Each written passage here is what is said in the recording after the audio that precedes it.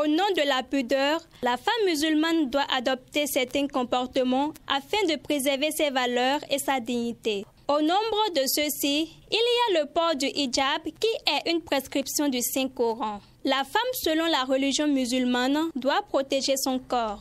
Mariée ou pas, une femme est faite à se voiler. Parce que c'est dans la religion musulmane, dans la religion christianiste aussi, une femme doit se voiler. La religion accepte qu'on porte des voiles pour nous protéger. Pour la jeune fille musulmane, c'est une obligation de porter parce que les voiles sont importants pour nous, pour la protection de nos têtes et pour nos corps. Si tu es une femme mariée en islam, tu es obligé de garder bien la voile. Surtout bien te protéger avec sur la tête. C'est aussi une obligation. Toi, une mère qui a une fille, tu dois la conseiller de se voiler.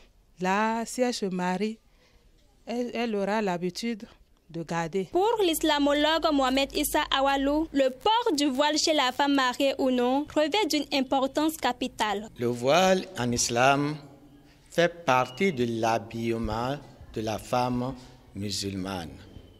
Il est recommandé à la femme musulmane de se voiler la tête car tout le corps de la femme constitue une nudité.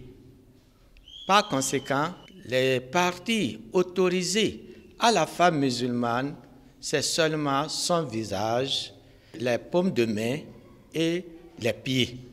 Sinon, tous les restes du corps de la femme représentent de la nudité.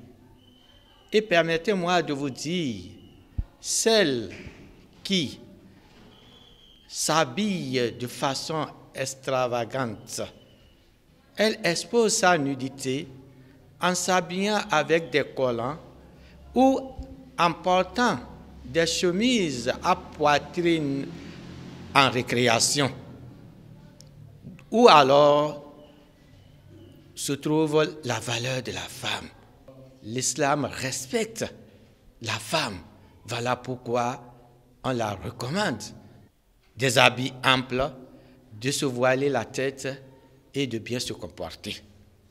Ceux qui pensent que c'est une liberté de la femme de s'exposer à la vue de tout le monde, de ne pas porter de voile, ceux-là sont en train de dénigrer en réalité la femme.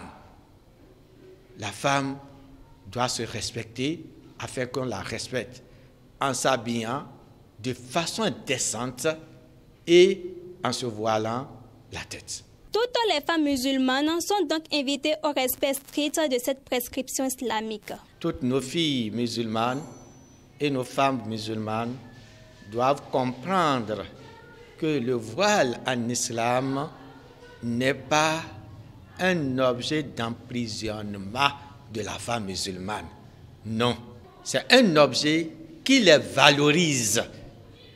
Parce que dès que vous voyez une femme qui se comporte bien, qui s'habille bien, et que l'homme veut aller en mariage, il préfère aller vers celle-là que celle qui s'expose à la vie de tout le monde.